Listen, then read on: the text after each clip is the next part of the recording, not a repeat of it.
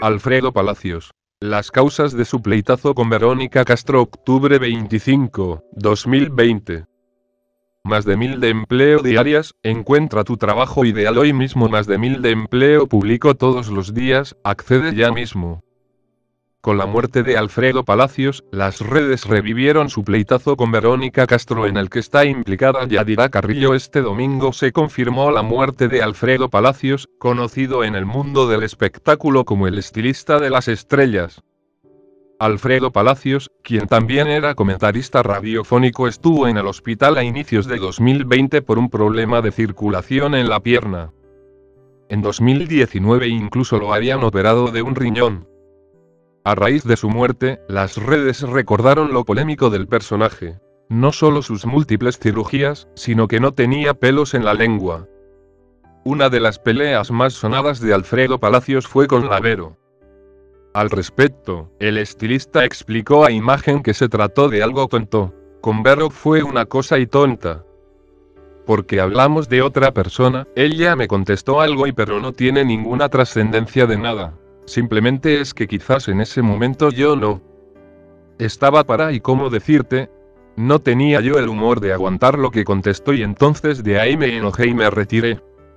Y eso es todo con ello, Alfredo Palacios se refería a un comentario que Lavero habría hecho sobre. Durante una cena.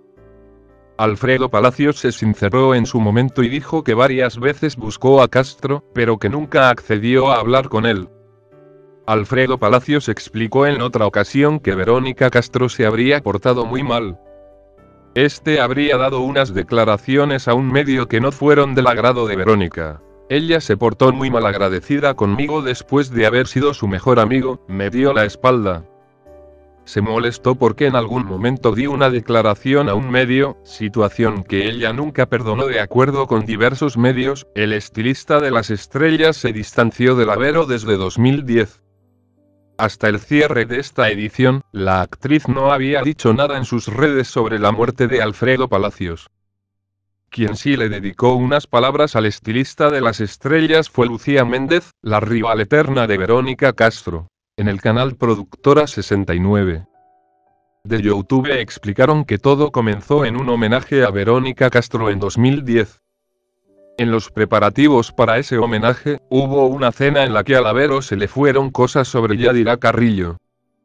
De acuerdo con el canal, esto se debe a que Castro es muy amiga de Leticia Calderón. Recordemos que esta es ex esposa de, actual esposo de Carrillo. Entérate sobre el resto del chisme aquí. Alfredo Palacios también traía pleito con Cristian Castro, Alfredo Palacios era tan cercano a Verónica Castro, que era padrino de Cristian Castro, cuya madrina es. Sin embargo, en algún momento se distanciaron, tanto que él hasta llegó a decir que debían cortarle el pizarrín.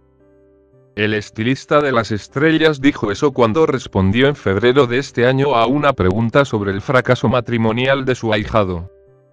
Recordemos que Cristian Castro, a solo 28 días de haberse casado, se separó. A Cristian lo que hay que hacerle es cortarle el pizarrín porque es tremendo y qué tal y le sale una loca y se lo corta. Alfredo Palacios, uno de los maquillistas más queridos en el medio del espectáculo, murió a los 72 años. Visita su perfil de Instagram arroba salud y belleza app para ver imágenes de momentos felices con sus célebres amistades. Portada. Twitter arroba salud y belleza app y la voz Arizona Interior. Instagram arroba salud y belleza